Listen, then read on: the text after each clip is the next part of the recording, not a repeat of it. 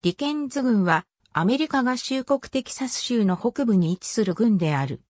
2010年国勢調査での人口は2444人であり、2000年の2762人から11.5%減少した。郡庁所在地はディケンズ市であり、同郡で人口最大の都市はスパー市である。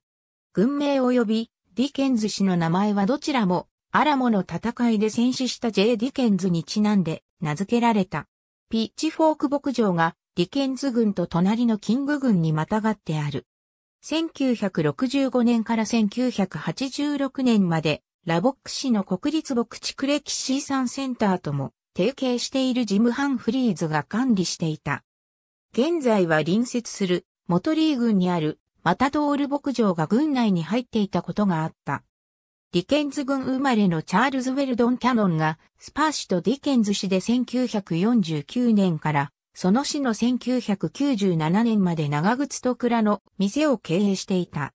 マーシャル・フォーンビーが1936年に当時としては州内で最も若い25歳でディケンズ郡判事になった。フォーンビーは後にテキサス州議会上院議員になり、州西部のラジオ放送局ネットワークを所有した。マーシャルの甥で、ディケンズ郡生まれのクリント・フォーンビーはヒアフォードにあるパン、AM&FM ラジオ局のオーナーであり、2010年に死ぬまで、国内では最長の一人が運営するラジオ番組を流し続けた。アメリカ合衆国国勢調査局によれば、郡域全面積は905平方マイルであり、このうち陸地904平方マイル、水域は1平方マイルで、水域率は0.11%である。